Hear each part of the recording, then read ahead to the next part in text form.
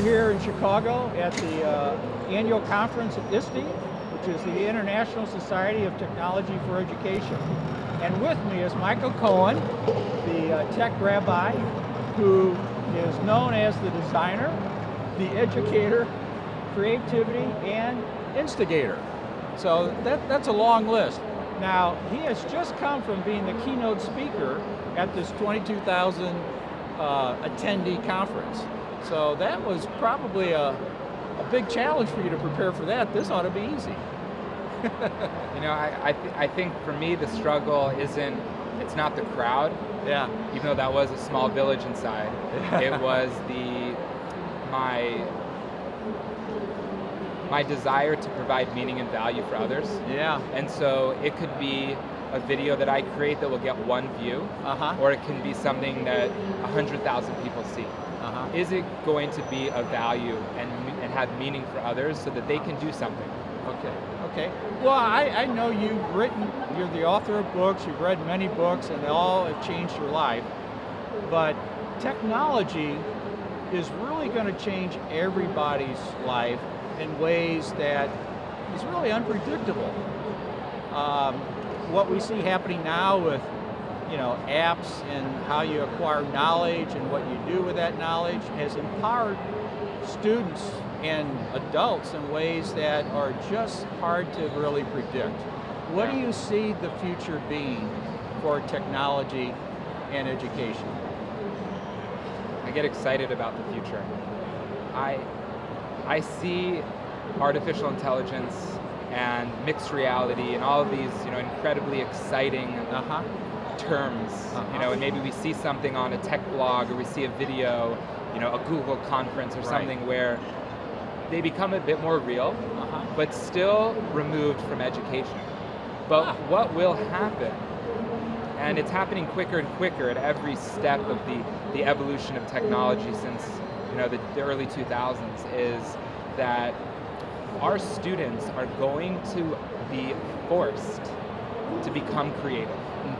Because that will be the only differentiator mm-hmm. between us and where AI is heading. Mm-hmm. Because AI can mimic, mm-hmm. it can strategize, and it can implement.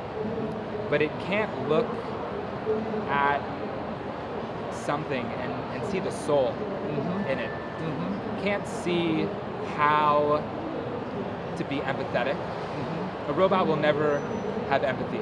It can mimic it, it can be programmed to, this is, this is empathetic behavior. But empathy is a uniquely human characteristic. And I just see that the more we practice that now, where our students are looking at how their education, the knowledge and the skills that they gain uh-huh. are going to be part of the tool set and the way of, of their, their mindset of helping others is what's going to allow the world to, to prosper. Well, you know, when, when we look back from, say, 10 years from now, look back to today, I'm sure we're going to look at today and say, this was pretty fundamental, the things that we're doing, and we think they're cutting edge. So with IA, I can just imagine just three, five, ten years what it's going to be. It's just going to be really hard to, to predict yeah. the outcomes that yeah. going to affect everybody. Well, I, I, was I was sitting backstage with Andy Weir, which was like uh-huh. a, a, nerdy moment for me. you know, he's he's a you know computer scientist, he's an author, science fiction, and he he was sharing some pretty interesting perspectives around uh, the AlphaGo Google uh-huh. Uh-huh. Um, AI machine uh-huh. that beat the um, the, the top players in this game called Go. And chess is easy because chess is, let's say 20, 30, maybe 40 moves in yeah, the midst of yeah. the game. Uh-huh. Go at any moment can have 300. My gosh. So the way that they they won was they looked at the footage of thousands of games of Go and uploaded millions of images. So the AI system won, but didn't know how it won and couldn't tell the engineer team how it won. Uh-huh. So now it takes a team of computer scientists, and I'm sure many other fields, wow. to figure out what just happened. And I said to him, I was like, it's almost like we will have a, a moment in time where there will be doctors of robots, of AI, that that will actually become a field. Neuroscientists Yes. and medical professionals Yes. actually trying to understand the robot brain. Uh-huh. So it's it's incredible, and it's insane that that is here and not something that is you know 2030. Right, It's, right. it's now. Right.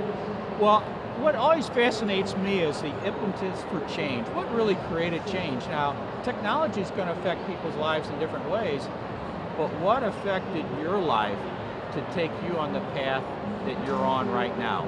What got you on this path? When I was in fifth grade, so I'm 33 years old. Don't ask me to do math on uh, on camera right now, but I was in fifth grade, and my my grandparents were not well, and traveling was not easy for them. Huh. And my father, who's always been tech savvy, purchased. You know, this is this is you know like the mid '90s. Yeah. This video conferencing setup that was this camera that sat on top of our big screen TV, which was this thick, right? Yeah, yeah, that's right. The projector. you know? Yeah. And it connected to the phone. So the phone was live, and the video through the phone line split was 45 seconds delayed. and it was, hi, Michael. and it was this weird experience. that was a me. modem. Yeah, 14K modem. Yeah, yeah. And it created a moment for me where I said that technology, and I, I didn't think that it then, but Yeah. I, I look back. technology showed me that it's not about the device. Uh-huh. It's about the connection and the relationships Uh-huh. and the collaboration that can be fostered and created because of the tools that we have.